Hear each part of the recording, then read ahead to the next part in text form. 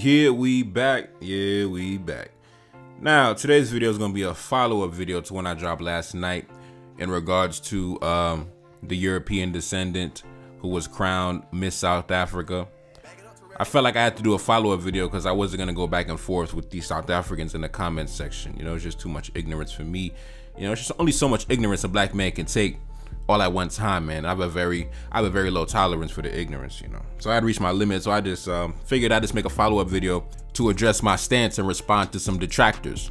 So for those of y'all that don't know, to summarize, there was this whole, you know, Miss South Africa 2024 and it was a big fiasco. A lot of controversy surrounding it due to one of the contestants, a young lady by the name of uh, Chidimma Adetshina. Take a look up on the screen, as you can see, very beautiful, you know, African woman. Shout out to her. It was a lot of backlash to her participating because there were a lot of South Africans who felt that she was not a so-called, you know, a real South African, right? We need a real South African to represent our true values, our true culture, right? We need a real native of the soil. We need a real daughter of the nation to represent us on the world stage. So, anyways, after the controversy reached a boiling point, the young lady Shadima decided to bow out voluntarily. And then I think yesterday the results were uh, given out, and it turns out that you know a so-called a daughter of the soil was given the title, right? A daughter of the nation, right? Take a look up on the screen. Young lady by the name of Mia le Roux, right? Mia le Roux, you know, real African woman, as you can see, right? Uh, she won the whole competition. So I did a video last night, basically reacting to the uh, developments and there were a lot of South Africans that came into that comment section explaining, oh man, you know, Mia is a real South African. I don't care what you think. You just an American. Who cares what you think? Whatever, whatever. Worry about your own country. Go fix Nigeria. Meanwhile, I never even been to Nigeria. I mean, I, I got Nigerian homies, you know, shout out to my Nigerian brothers. They're my family. But I'm, I never been to Nigeria. I'm not a Nigerian. I, you know, I probably got, you know, some distant you know, ancient ancestor probably from that region, but I'm not a Nigerian. But you know, the xenophobia is so crazy. They was in the comment section telling me to go fix Nigeria. Anyways, one thing that stuck out to me in the comment section a lot of folks they kept talking about oh man chidimma is a fraud. She committed fraud. She committed identity theft. She's not a real south african. There's, there was an investigation. You don't have all the information. Whatever whatever right? So i went and did some you know i did some digging right? I was like okay she committed identity theft whatever. Let me, let me go see what's going on right? Let me go see what's going on. So I went to um, what is it called? The Ministry of Home Affairs. I guess that's the department in government in South Africa that that deals with things such as you know citizenship and documents and things like that, right? So I, I seen they put out a statement about two to three days ago, and this is what they had said. The Department of Home Affairs acknowledges the media and public interest into the ongoing investigation requested by the Miss South Africa pageant. The update provided yesterday indicates that our team is hard at work to establish the full set of facts and committed to communicating those facts in a transparent manner at the appropriate time. To safeguard the integrity of the process, the department will, however, not be commenting publicly again until we are in a position to announce the final outcome of the inquiry. We are committed to concluding the investigation speedily. We also call on South Africans to support our work by safeguarding due process, respecting the constitutional rights of all parties at all times, and refraining from inflaming divisions. By upholding these principles, we can rebuild the rule of law together.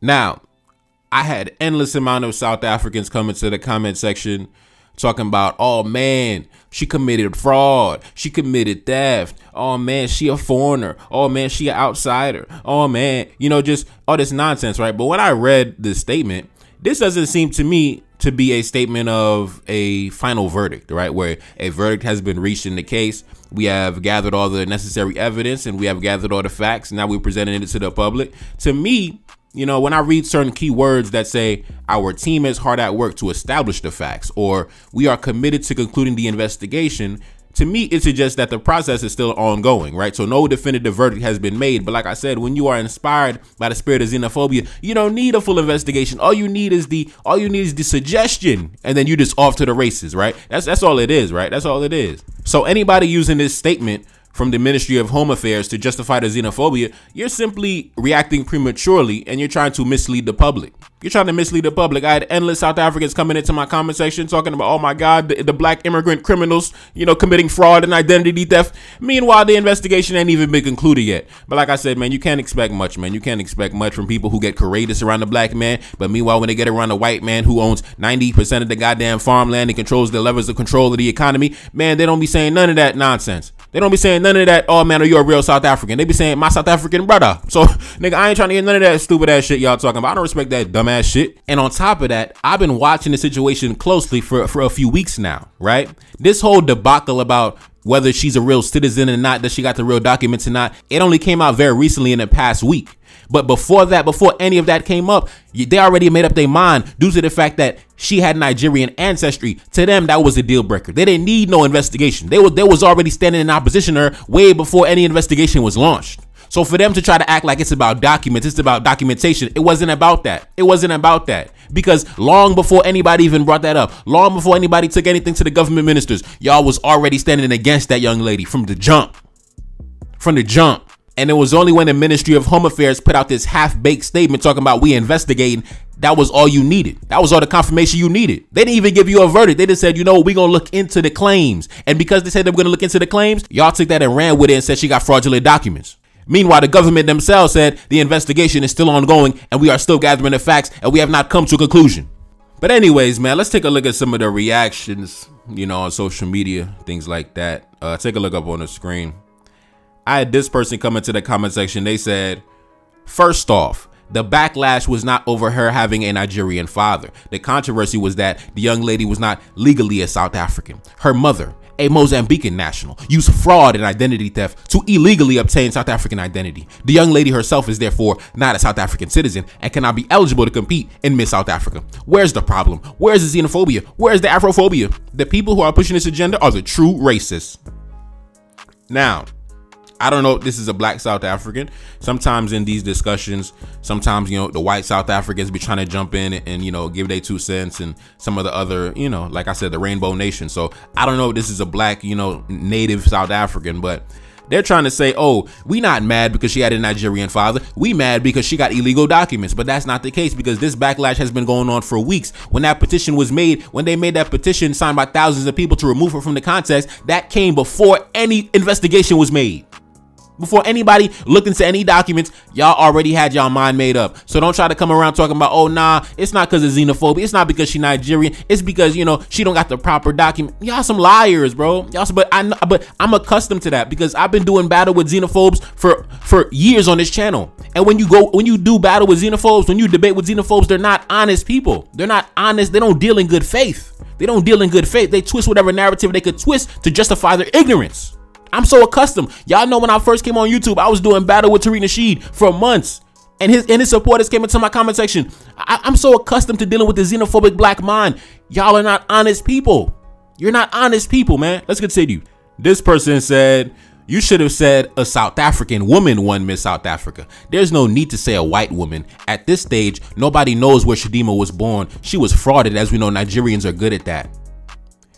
Now, like I said, man, a xenophobic black mind. I didn't even mention Nigerians anywhere. I did I even say the word Nigerian in my video yesterday? I don't even think so. I don't even think I even said the word Nigerian, right? But like I said before, you had people come into the comment section telling me, "Hey, go fix Nigeria." go, what the fuck? I, nigga, I'm not from Nigeria.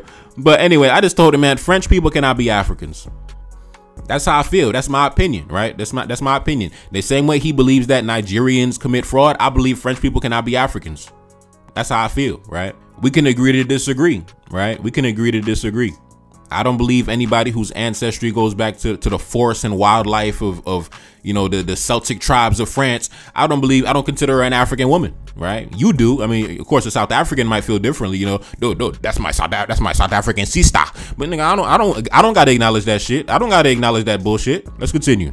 This person said Chidinma is not South African. She is born in South Africa from foreign parents with no status in South Africa. Being born in South Africa does not make one a South African like other countries. Why are you not talking about the fraud case? So he said, Why well, I'm not talking about the fraud case. So I decided to talk about the fraud case. And I discovered that the fraud case hasn't even come to a verdict, right? But like I said, in the xenophobic mind, you don't need a full investigation. All you need is a suggestion, all right? That's all you need. All you got to do is make the suggestion and they'll run with the allegation, right? That's how it is in the xenophobic mind. You don't need no research or, or confirmation. because they already had their mind made up long before the investigation was launched. They had their mind made up weeks ago. I've been watching the situation. I'm not new to this. I've been watching. Y'all think y'all could fool me talking about, oh, the fraud case. Nigga, the fraud case was launched like the last week. Anyways, man. This lady said, comparing a white South African woman who is a legal white South African woman meeting the requirements made by the pageantry with a black South African woman whose parents had to obtain her citizenship fraudly for their own selfish reasons is wild. Do you know how embarrassing this would have been for Chidimma to be investigated by the Americans after she won Miss Universe through her South African papers? You are missing the point here. You will have to live in our country to understand the pain that Nigerians have caused. Look into our history. Our forefathers have fought and died in the hands of each other to win against the white man. We're just 30 years into the freedom of the Union. My ancestors have fought hard for my freedom today to be able to share space with a white woman my age. What we won't tolerate is a fraudster to represent us to make you happy or to make us more African. You're quick to second xenophobic nonsense without looking into the deeper reasons of how or where it all started until it's your own son being given drugs to sell to their fellow classmates or your sister being trafficked and killed.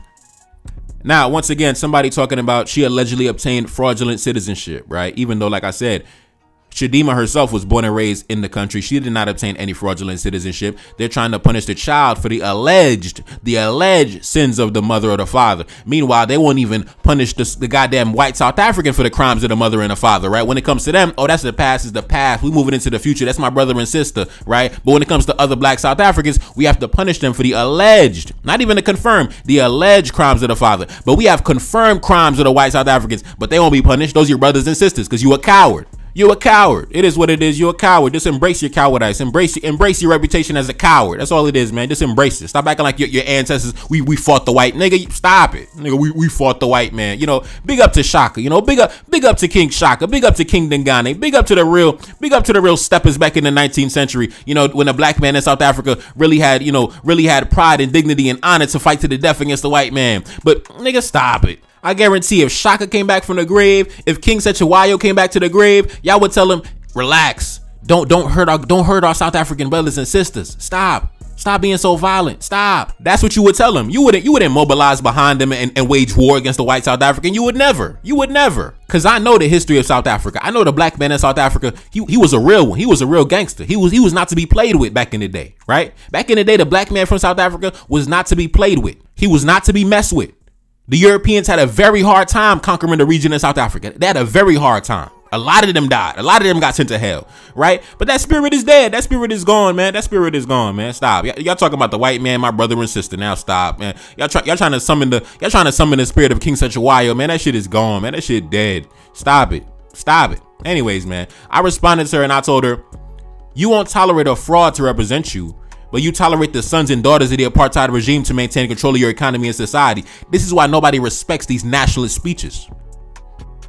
And it's a fact, man. It's a fact, man. It's a fact. I, I could respect it. Like I said in my video yesterday, I could respect it if it was equal across the board, right? If it was equal across the board. If, you know, the black man got set on fire and then the white man got the same treatment, right? The black man's business got attacked and the white man got the same treatment, right? The black man was put under investigation to see if he's a real citizen and, you know, punish him for the crimes of the mother and father. And the white man got the same treatment. I would be like, you know what?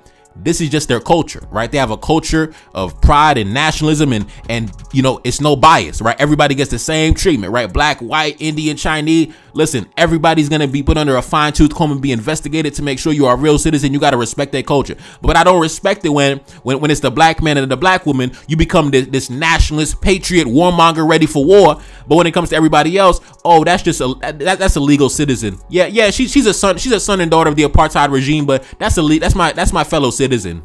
You're a coward. You're a coward. You're a coward. I also want to go back to something she said, right? She said her ancestors fought so she could share the same space as a white woman. Um, baby girl, your ancestors were not waging war and mobilizing for war against the Europeans so that their descendants can share space with white people. Your ancestors are waging war against the Europeans so they could eradicate the Europeans from the soil. Okay? That, that that's what King Cetshwayo was waging war for. He wasn't waging war so you could share a space with a white woman your age. She, he was waging war so the Europeans could be driven back into the ocean, right? These xenophobic idiots are so cowardly, they're even twisting the narrative of their own ancestors. They're talking about King Cetshwayo was waging war to share space with Europeans. No, he was not. Jesus Christ. They even lying on their own forefathers to defend the xenophobia. Cowards. Let's continue. This person said, Yes, Mia le Roux is a true South African. End of story. This person said, Mia is a South African. You guys can scream your lungs out all you want. It doesn't matter. The African continent has 54 countries. You're free to choose any country to associate with. This person said, the winner is a South African born. Her last name is South African. We know it. The other one is not. We don't celebrate frauds. I said, her name is literally French.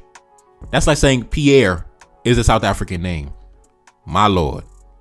This person said, do the real news. You're a dummy of the internet. Tell the full story. South African citizenship is respected if obtained properly. We don't respect you either. Shadima is not South African. Her mother and father are not South African. They're outsiders. Got citizenship by fraudulent means. You don't know the South African struggle. If you don't understand the beef with Israel, that's why you'll never be South African.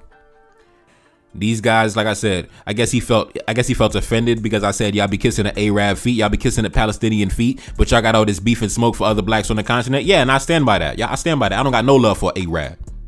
Look, I no love for Arab.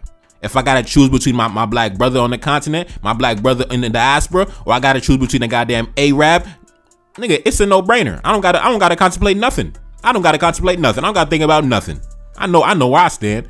Give a fuck about an Arab. And it's funny because South Africans will say, oh, we stand with Palestine because they stood with us during apartheid. Yeah, well, other black Africans stood with you during apartheid too, but that don't mean nothing to you. That's why I say y'all some cowards, y'all some xenophobes, and that's what it is, and I stand on that. The Arabs in Palestine stood with you during the apartheid struggle, and decades later, you still kissing their feet. You still you still feel obligated to kiss their feet. Meanwhile, the black man in other countries stood with you during the apartheid struggle. Meanwhile, he getting treated like a foreigner. He an outsider. He getting told to leave. Meanwhile, the same people, the sons and daughters of the same people who you were fighting against during the apartheid struggle, you respect them as your fellow citizens. Those my white South African brothers. You be kissing their feet too. Yo, get out of here, man. I don't respect none of that, man. I don't respect none of that, bro. I don't respect none of that. He said you don't respect me. What a feeling is mutual, bro. We don't gotta respect each other. It's cool. We don't gotta respect each other at all. Anyways, I responded to him and I said this. How did the ancestors of the white South Africans obtain their citizenship? How did they obtain control of the economy and the land?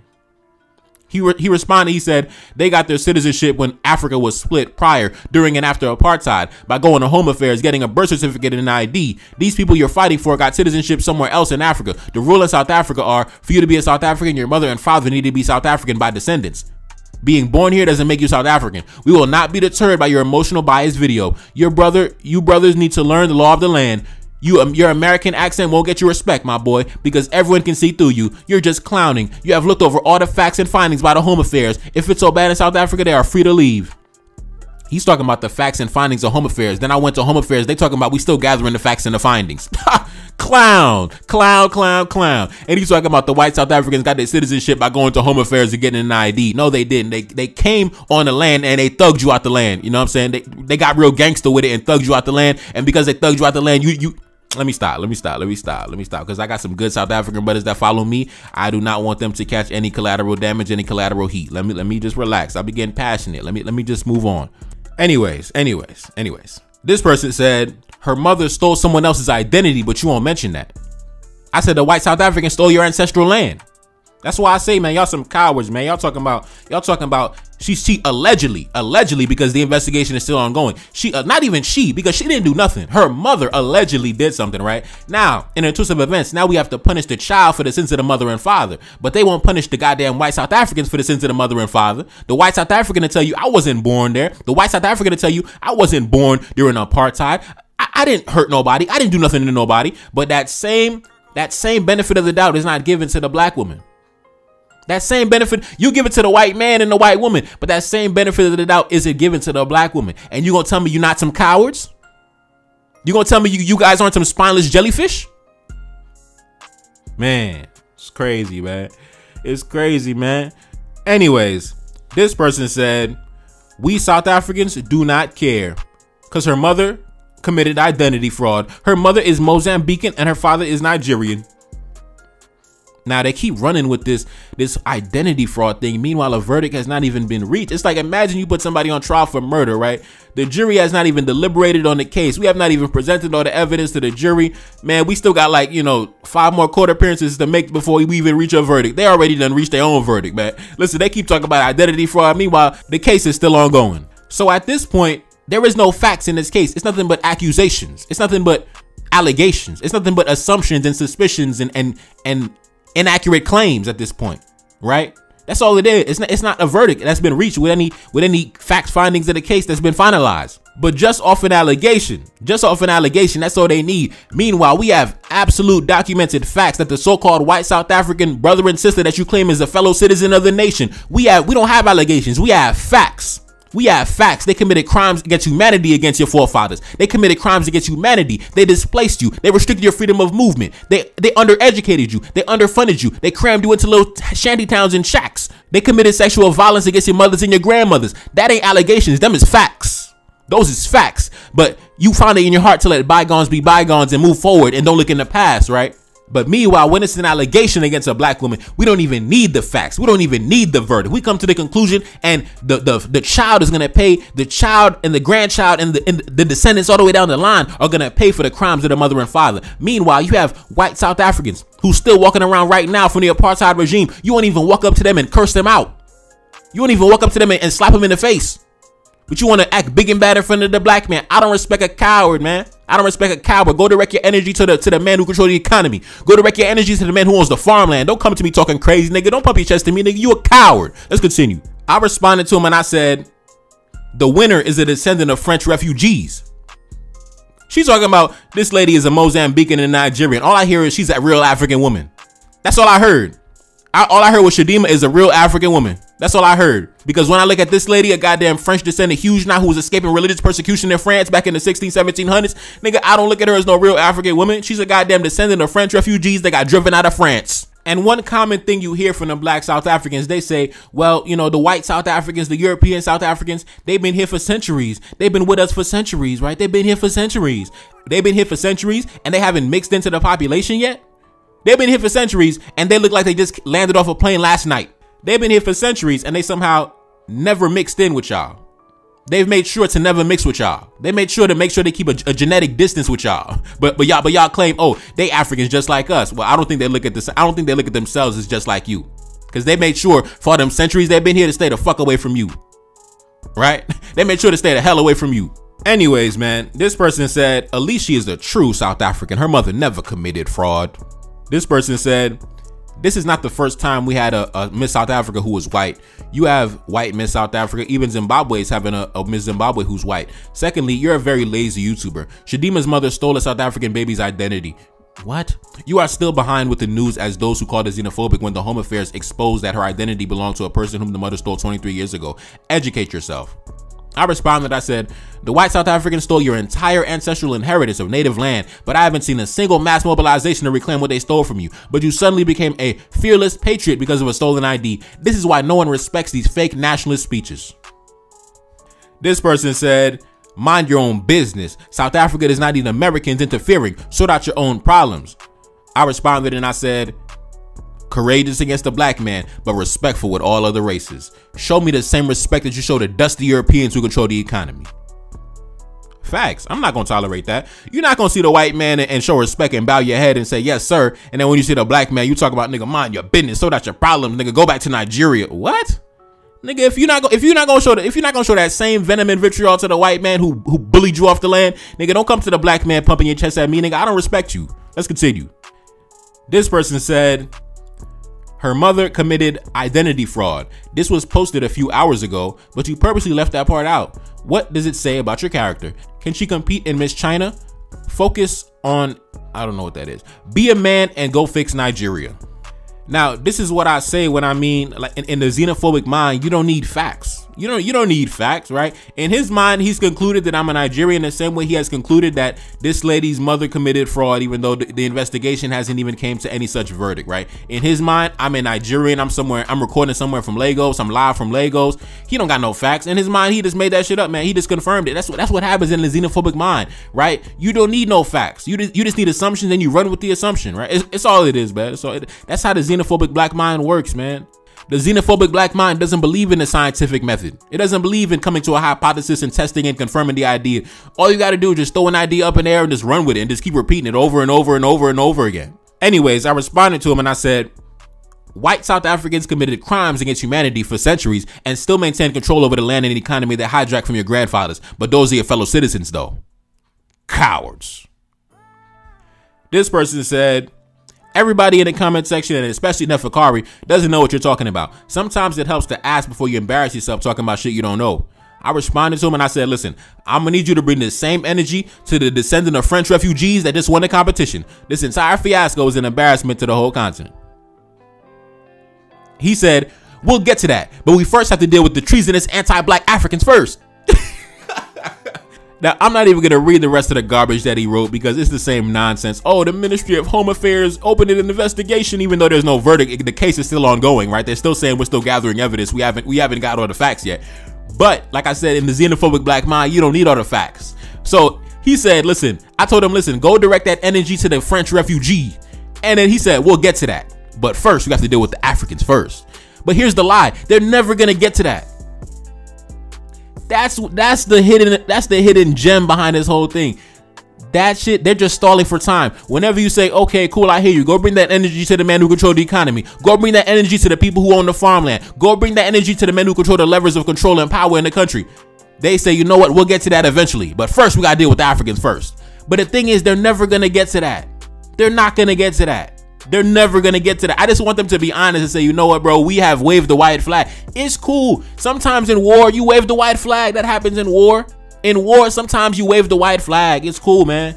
It's cool. Just say, you know what, bro, we, we've waved the white flag. When it comes to the white South African, we've waved the white flag.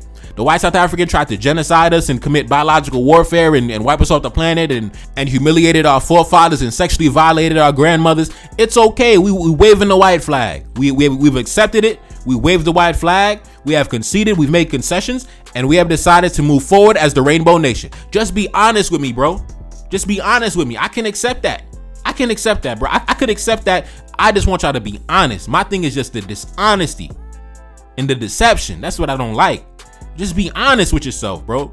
Cause once once you can be honest, then we can move forward. But we can't move forward if you're not being honest. Talking about okay, one day, one day we're gonna fight the one day we're gonna fight the white man. One day, eventually, you know, one day we're gonna gather our forces. One day, in, in the distant future, one day, bro, stop, stop leaving me in suspense.